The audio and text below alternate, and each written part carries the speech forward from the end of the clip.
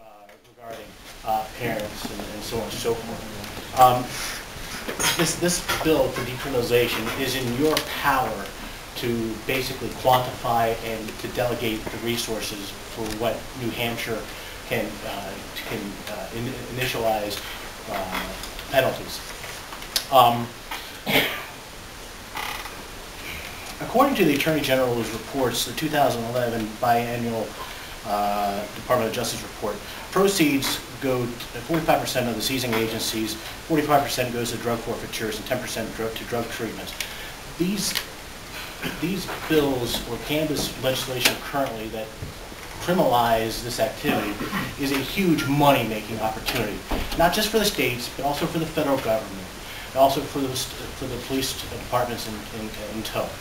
Uh, Last year, according to the Drug Task Force uh, reports, uh, there were 2,116 criminal cases, an 18% increase from the last report, which is, again, comes out every two years, in which there were 321 arrests. They confiscated 2,000 $217,656, three automobiles, one house, 94 weapons. Confiscated off the, off the streets was 129 pounds of cannabis, 12 and a half pounds of cocaine, six ounces of crack cocaine, five and one quarter ounces of heroin, 4,700 Oxycontin pills, 4,341 prescription depressants, 1,519 ecstasy pills, 36 methadone pills, and seven and a half grams of crystal meth. We're using far more resources for marijuana, marijuana cases than in anything else. There is a huge, huge, disproportionate problem with pharmaceutical drugs. Now, of course, that might be a completely different bill, but when we're talking about youth usage, just like, and I, and I applaud the efforts of the, of the students for coming in here and stating what they choose. And they have that right to choose. There's no one taking that away from them. The state has no right to take that away from them either. But unfortunately, there is a huge, huge misuse or mischaracterization cannabis versus other drugs, whether or not they be legal or illegal. Prescription drugs are a huge, huge problem. There are far, no, far more misuse of those. I understand that. And with all, and with all due respect, we're talking about illegal drugs in total. No, no, what is Oh, cannabis? Oh, cannabis? Cannabis is marijuana.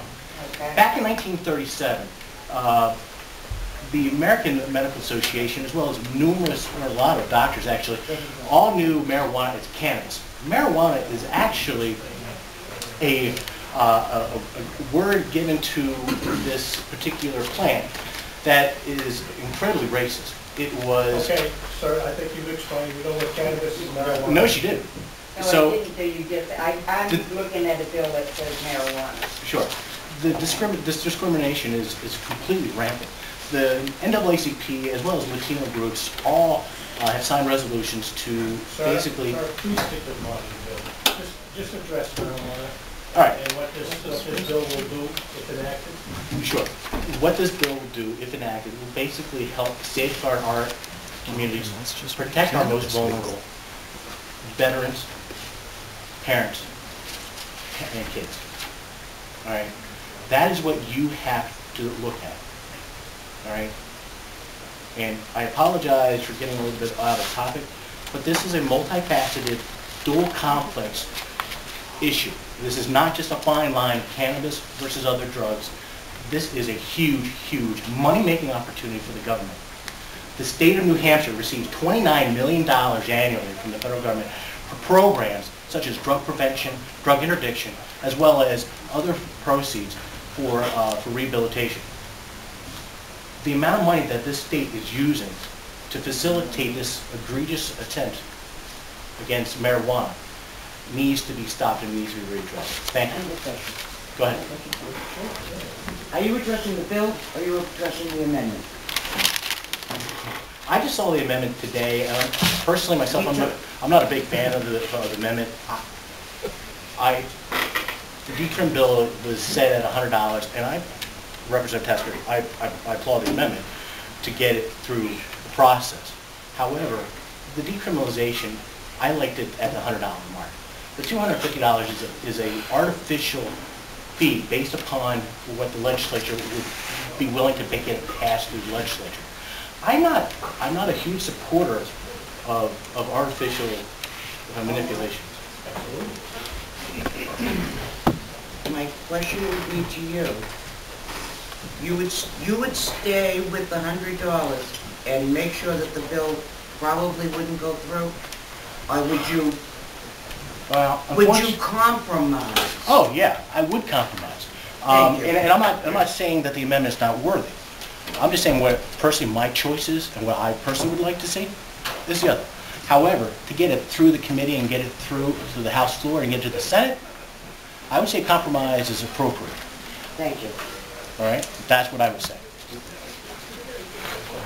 I have a comment. Would you believe that internal possession of alcohol for someone under 21 years of age, you know, you can't, uh, .02, I believe it is, that it's a $300 penalty plus, plus $300 fine plus a penalty ass- assessment of $60, it comes out to $360 But this doesn't tech- penalty for internal possession, so this would be less.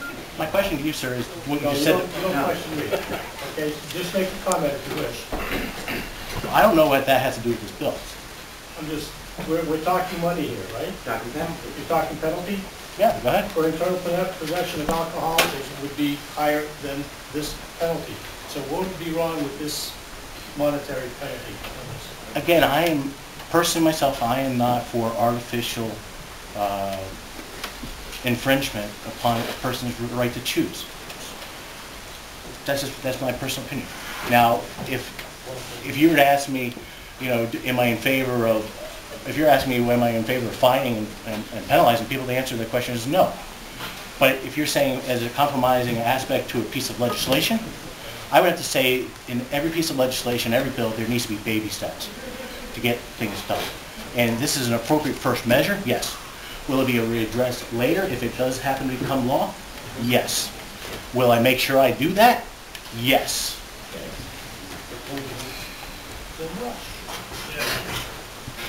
Sir, to the best of your knowledge, how many people have died on overdoses of marijuana? Zero. There are more people that die annually from peanuts than there do on cannabis. And I, and I say cannabis because that's the actual legal term. How often do people get into violent confrontations after smoking marijuana? Hmm, that's a really good question. And unfortunately, I don't have the appropriate uh, response to that question. However, um, there are attorney generals who have been on record um, videotape uh, at a, last week at a uh, drug seminar in Detroit, Michigan, that the attorney general who uh, is no longer there, his name is Michael Cox, said that in his course of action in prosecuting over 20 years worth of uh, criminal activity in the city of Detroit, that it has very rarely will there be physical abuse from cannabis users on their wives or their children. So from a political answer, I have to say that from a politician who's an attorney general who was elected and voted for for eight years, that holds a lot of credibility and a lot of, a lot, of, you know, a lot of, a lot of promise. Thank you. No further questions? Thank you.